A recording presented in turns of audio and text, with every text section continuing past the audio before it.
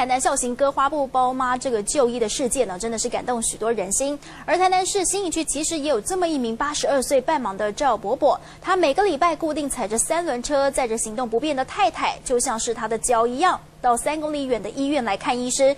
不管是刮风下雨，他持续了二十年，眼睛呢其实自己也看不太清楚哦。那么靠着太太帮忙看路，就这样的两人从结婚到现在，相互扶持走过了六十个年头。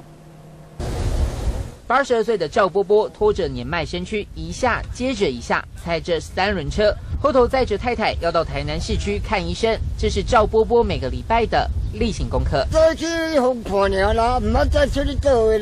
二十年前开始，赵婆婆因为腰椎受伤，必须定期就医，但住家距离医院有三公里，不愿浪费钱坐计程车。赵波波干脆化身为他的双脚。像讲头前啊，伊个边啊一台车，你就甲讲头前的车较注意啊。赵波波右眼看不见，也听不太清楚。赵婆婆在后方，就像是她的眼睛一样，帮忙指引道路。我的这外卡的掉了。两人结婚六十年，三轮车也骑了将近二十年。虽然身体越来越差，但赵波波不怕累，即使速度缓慢，也要把心爱的太太平安送医，安全载回家。做阿弟的啦吼，啊本来本来的本来的做爱，无爱要娶。